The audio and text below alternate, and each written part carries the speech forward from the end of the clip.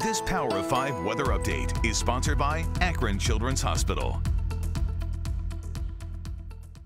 We are still going to be feeling spring-like for you across Akron and Canton tonight and Tuesday, down to around 46 tonight. I think most of the rain holds off until after midnight up to around 61 for tomorrow. So wow, that's more like April than February, but you're going to have to deal with a lot of rain on Tuesday and that will increase that flood threat. So make sure to watch out for any flooding that may develop, but enjoy the warmth. You do get one more day before it turns much colder.